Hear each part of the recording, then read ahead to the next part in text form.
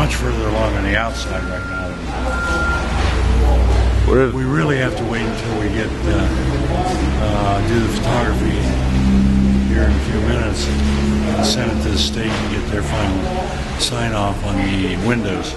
And once we have that done, then then it's full bore ahead. So, but, uh, but we're we're not going to wait until all the windows are done. Put all the windows in. We're going to be putting in two or three windows a day or a week, just based on what they're able to produce. Well, the, the bottom ones are they're being remilled. In other words, a lot of them we're taking from single pane glass into double pane glass. Uh, but the top three floors are all brand new windows. Where people are going to be living most of the time, we have the, the better, more modern windows up there. But down here, the, the renovated windows will be fine. Yeah, these windows have been boarded up for for decades.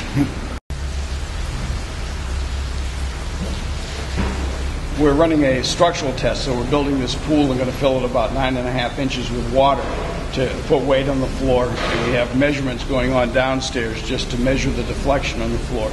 We have total confidence that the floor is fine, but it's very difficult to calculate the actual structural strength of a floor that's 92 years old.